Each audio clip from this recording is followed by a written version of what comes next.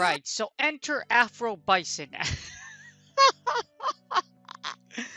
oh my god, I always wanted to say that. Anyways, welcome to the Bouffalant analysis for Ultra League Premier Cup and for, yeah, for Ultra League Premier Cup, Buffalo, Afro Bison here, the one with, yeah, Afro, oh my gosh, I, I can't take this seriously. Okay, give me one second, guys.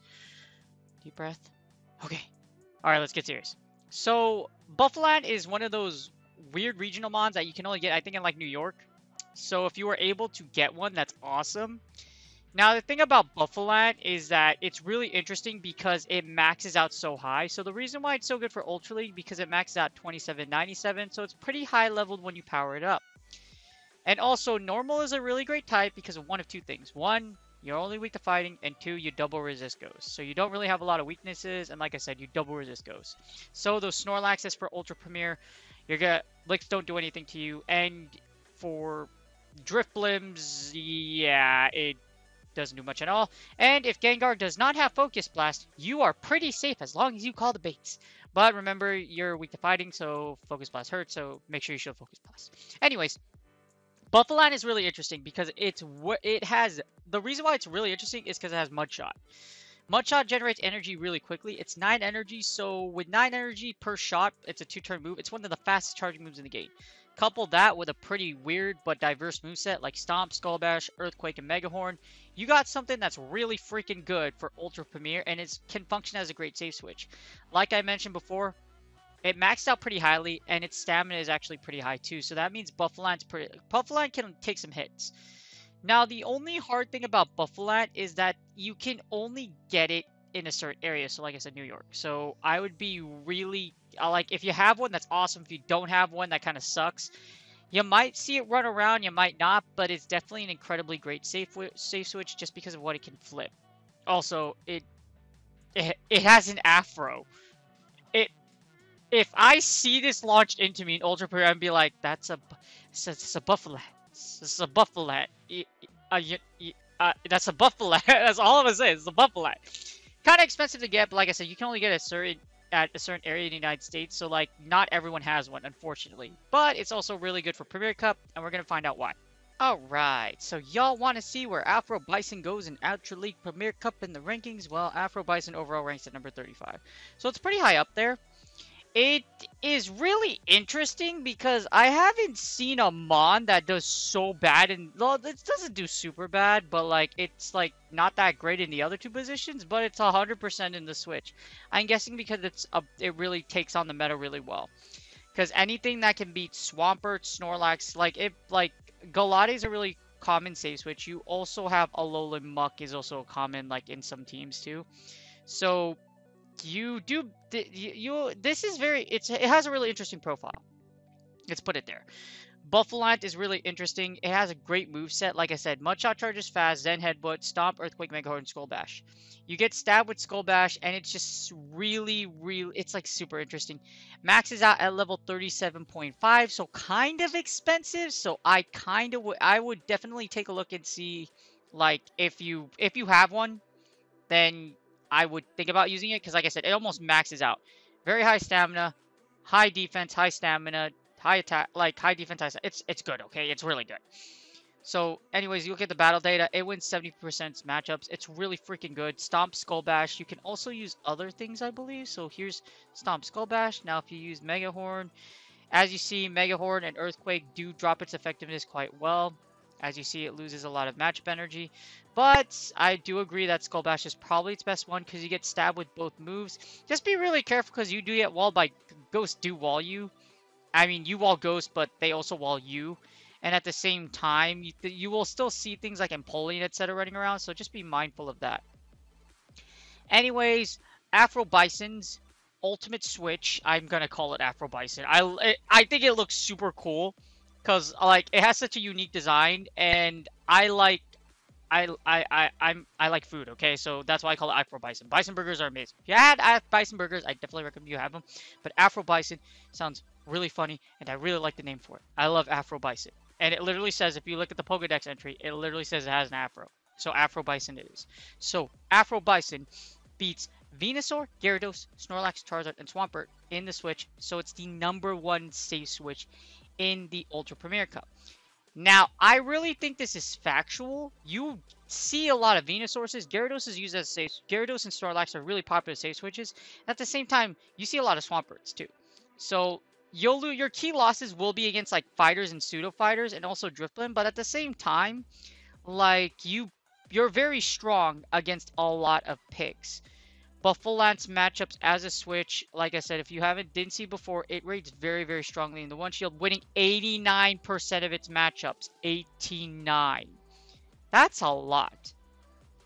For something to be to rate kind of weirdly in the other two ones, but it does so well in and the switch position, that's really that's kind of rare and it's really good. Like I do definitely recommend you use Buffalo if you're if you have one, you're considering it.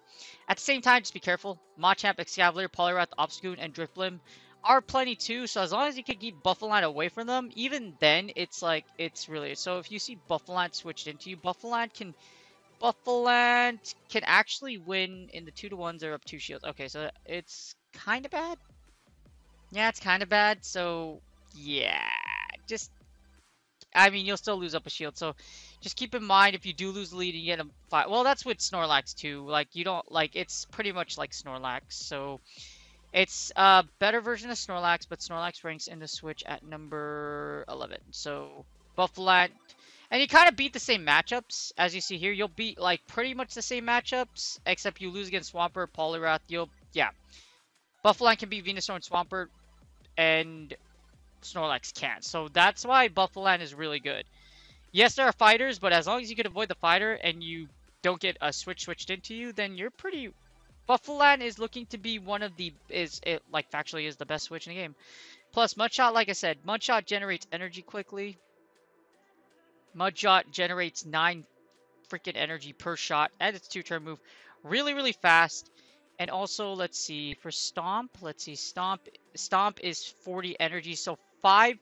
So it's it's basically like it's not a it's like a hydro cannon, not in terms of damage, but definitely in terms of like speed. Stomp is Stomp and Skull Bash are very very fast. So just keep that in mind. Buffalo is a force to be reckoned with and the Switch. Alright, I got Afro Bison here, and Afro Bison is in the Matrix. I put all three versions in here, so whether or not you want to headbutt hit, you want to face them head on, you want to move the earth, or if for some odd reason, I don't know how, you, well, it makes sense on how you have Mega Horn, but you know, it's a bug type move. A anyways, Afro Bison has a very versatile move set. It's definitely recommended that you use Stomp, Stomp Skull Bash, just because you get stabbed, and Mud Shot generates so much energy. Now, I'm going to analyze the two shield first, so we're going to go to the two shields, and then we're going to go ones and zeros just as usual. Just how I always do it. Premier Cup meta, we're in the Ultra Leg. Okay, we fire. And then we get the results. So the Skull Bash Stomp variant is what you need for the Switch. However, I put, like I said, I compared all three of them just in, just so that you can take a look at all three. You beat Abomasnow. Well, you lose against Abomasnow, but you beat the Shadow one with Skull Bash, and you beat it with Mega Horn, because Grass is weak to Bug. You beat Ampharos, and you beat Charizard. That's pretty huge, because even though even though Charizard does resist you, you're able to just I think you can bait it with Stomp and then Skull Bash, like, destroys it. Yeah, so you bait it with Stomp, and then Skull Bash just really freaking hurts. In fact, if you hit Skull Bash, you do 111 damage. That's a lot. That's a lot. So you take a major- if the Skull Bash lands, it's going to hurt, so you're very prompted to shield if you're Charizard. But, if you do have Afro Bison and you do charge against a Charizard, I don't think they'll know what's going on, so just keep that in mind. Or they might shield in general just because they're scared of what you have, so just keep that in mind. Now, the interesting is you beat Electivire with the Skull Bash variant, but you lose Empoleon because Empoleon's Steel type. Now, the thing about this is, is what's interesting is that you actually beat Empoleon with the other two variations, so... is How do you beat it with Mega Horn? Okay, so I'm pretty sure you can beat it going... Can you beat it just going straight stomp? Okay, so you can... Yeah, that's really interesting. Do you beat it with Meg... Because a Mega Horn doesn't get stabbed, so if we just go straight stomp against Empoleon, what happens? Okay, yeah, this is awkward. I'm gonna... Here, I'll run this sim real quick, or I'll run... What do, does Mega Horn do, like, extra damage or something like that? Oh, it's because Mega Horn's less energy. So Mega Horn get like you'll beat it just because Megahorn does that little bit of chip damage you need to KO. Like, literally KO. That little bit of chip damage. And then Stomp finishes it off. Okay, so I see. So you double shield, Megahorn, and then, wow, that's really, that's kind of, that's rough. That's a rough simulator. But you do lose against Empoleon, so just keep that in mind. You can probably take a Hydro Cannon, and then you can, yeah, you can take a Hydro Cannon. Or Empoleon, wait, no, not the Charizard. Hold on, give me one second. There it is. Let's see. Yeah, you can take a Hydro Cannon, so you definitely can take a Hydro Cannon. So, like, you can play this out, but just be careful. Escavalier beats you just because every every fighter will basic every fighter pretty much beats you just because of how oppressive like you you don't live very much to like a lot Buffalo isn't if you look at the comparison he's not super thick so like if you do go against Gallade like one one one close combat will send your soul to the next universe or actually they could just go straight leaf blade so just be really careful some Mons have really strong matchups, especially it looks like it's because it gets outpaced. So Mons that will outpace Buffalo will lose to it, like Gallade. Because Gallade with Confusion gets the Leaf Blades, and Leaf Blades will chunk down. So Gallade can just go straight Leaf Blade. Escavalier, pseudo counter user, will hit you really hard, so just be careful of that. You do be Honchkrow and Lapras with the Skull Bash variant. And you beat it with the Earthquake variant too, but you lose it with the Mega Horn. So Keep in mind that what the moveset you pick will flip certain matchups, so just decide which one you want to cover. However, it looks to be like Skull Bash covers flips a lot of matchups. Yeah, Skull Bash seems to flip a ton of matchups, so Skull Bash looks to be the reigning king. However, there's some interesting things, and some interesting things are, with the Earthquake variant, you can beat Empoleon. You could also beat Scizor. So you do beat some steel elements with the er, with Earthquake, so just keep that in mind. Other than that, Skull Bash seems to beat a lot of all the movesets seem to beat like some like certain matchups. Like Magnezone loses to all three. So does a little so does Amok, Slowbro, and Snorlax. But it looks like the Megahorn variant loses against Snorlax, so just keep that in mind. But if you are looking at this guy, 90% of you, I can only imagine, are going to run the Skull Bash variant. And I do recommend to you because with that extra plus one defense, Buffalo can get some extra chip damage for what comes in next. And because Mudshot generates so much energy, it only takes five Mudshots to get to a Stomp. You can probably get another move in depending on what they throw into you. Here's the one shield. In the one shield, you beat Abomasnow. You lose against the Shadow version, so just keep that in mind. You beat Ampharos. You lose against Charizard. Well, actually, you don't lose. You go neutral. So it looks like Charizard, it looks like you will simultaneously knock each other out. And I think it's because like you Dragonfly each other or something like that. Let's take a look at this sim. Let's take a look at this sim. You, what happens here?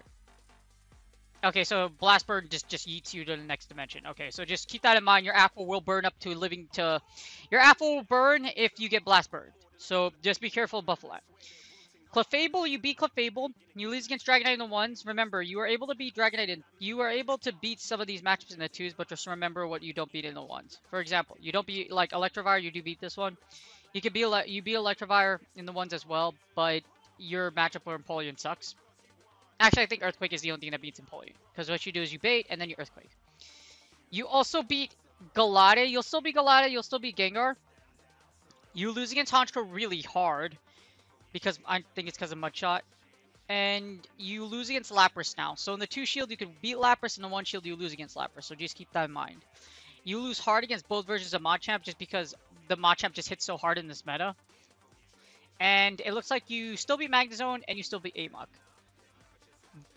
And you beat Scizor with the Earthquake variant. You still beat Slowbro, Snorlax. You beat a lot of like new, and you beat both versions of Swampert in the one shield as a switch. So that's why I'm guessing that's why it's the most powerful switch. There are very relevant matchups here that you flip. For example, Abomasnow, Ampharos, Gallade, Ga Gallade, Magnezone, Amok, and Snorlax, and Swampert too. So you flip a lot of safe switch matchups in the one shield as a switch. So just keep that in mind. And it looks to be in the in the switch. Buffalo is really going to smack the yeah. wow, it's actually it's pretty good. So with, with its ability to beat so many other safe switches in many scenarios, it looks like Buffalo is an amazing switch for Ultra League Premier. Now we're gonna take a look at the close. Alright, so here's the Zero Shield. So in the Zero Shield, this is the closer, which is zeros. I ran this in for Buffalo, and it looks like Buffalo isn't very strong in the closer. As we analyzed in the rankings, it looks like in the closer, Bouffalant's kind of weak. So you beat Abomasnow, you lose against Shadow, you also lose against Ampharos and Charizard, which can also be in the closer.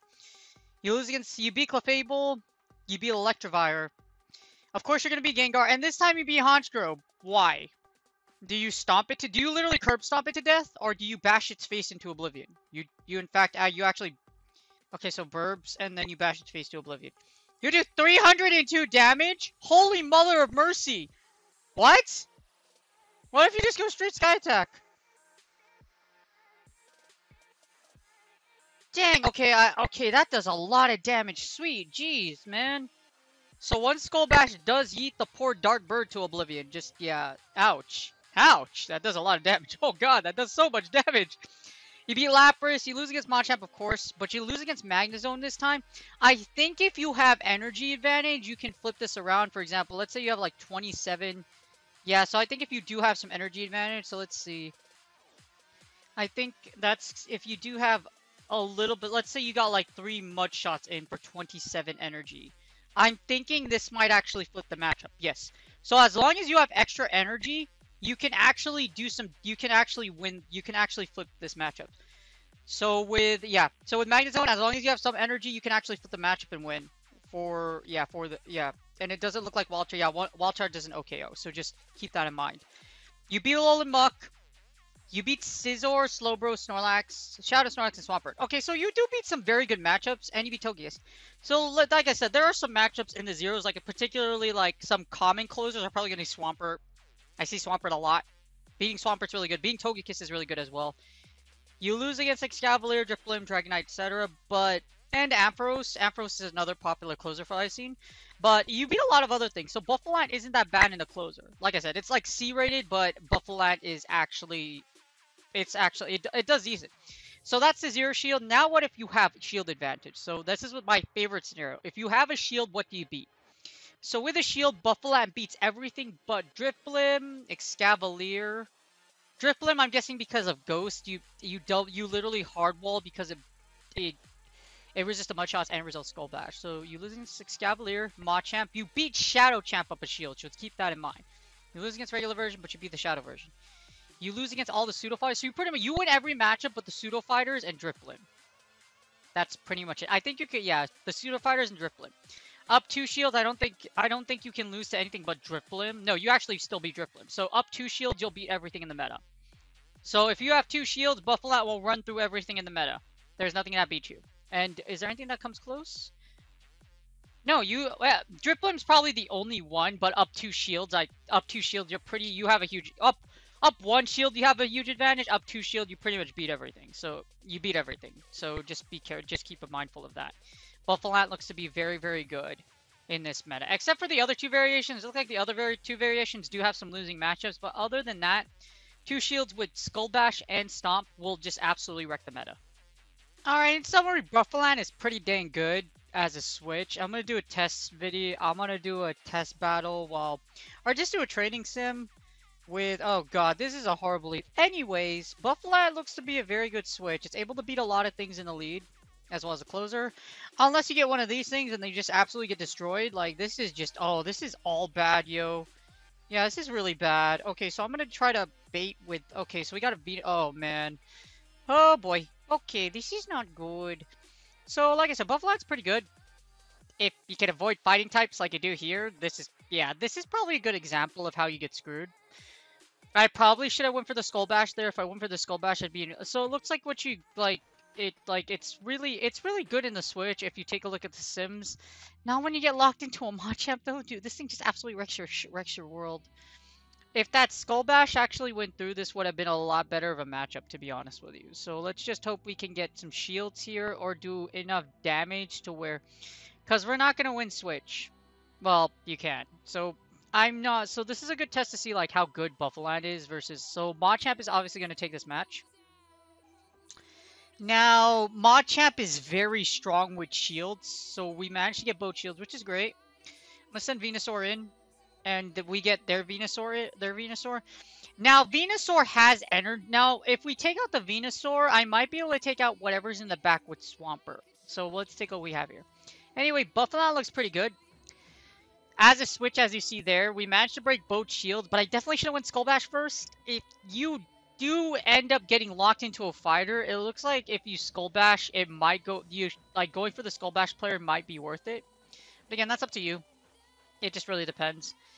Take a look, see what your team needs, and run your preferred Afro Bison, Iron Bison, Burger, move set the way you want to do it because like i said it's going to be this meta is going to this meta is pretty is super diverse ultra is extremely diverse you don't want to really like you want you want to formulate a team that you like like a lot of people ask me like what's your like what's a good team in your opinion etc and i'm like it just really depends what you like because like that's oh this is great okay they might try to switch out okay they do so I'm gonna get a. I'm gonna get. Well, here's the problem. This is this Swampert is in Shadow, so Shadow Swampert will actually KO a Charizard.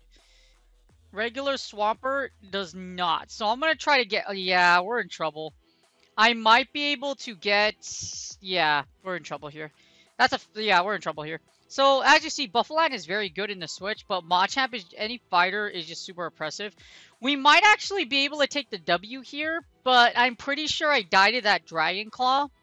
Should have got a little more energy, but I kind of lost track of how much damage that how much damage Machamp does, but I think Dragon Claw does KO at this range, and that's GG's.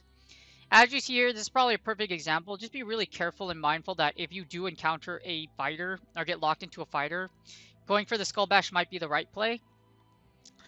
Also, Bouffalant, you know what? I'm gonna stop bleeding Swamperts. Yeah, yeah, let's try to switch and see what we get. Please don't switch in a fighter. And we get Obstagoon. Okay, this is even worse, because Obstagoon actually beats us as well. This is what's kind of bad.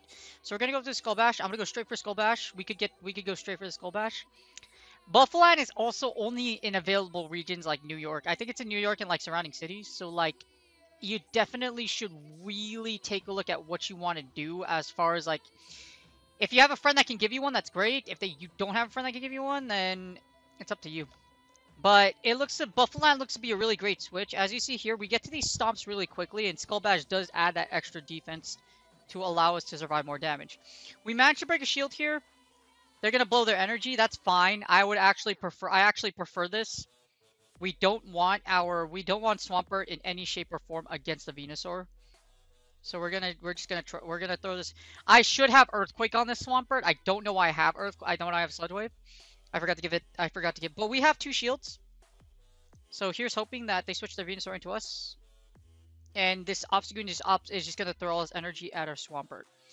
That's fine. I want to get energy on Swampert and leave, save the two shields for for whatever's in the back. So we're gonna we're gonna try to get to two Hydro Cannons here. Fire one Actually, I'm just going to back to back. Back to back and have Venusaur up with two shields. That's probably our best play in this scenario. Because we're going to KO the Obstagoon with this shot. They switch into a Togekiss. Okay, this is actually really good. Because now they're switch locked here. We do some chip damage with the Togekiss. Because I do believe that it takes a little bit more damage before you can actually KO with Togekiss. So we get Togekiss. I'm going to get to... I'm going to overcharge just a little bit of energy past the Sludge Bomb. And then we'll fire. There you go. Now we have two shields against the Venusaur and we should win this.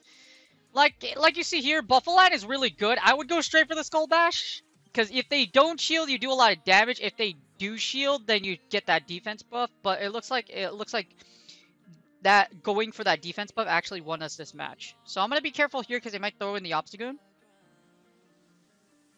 So we're gonna shield everything the Venusaur throws at us.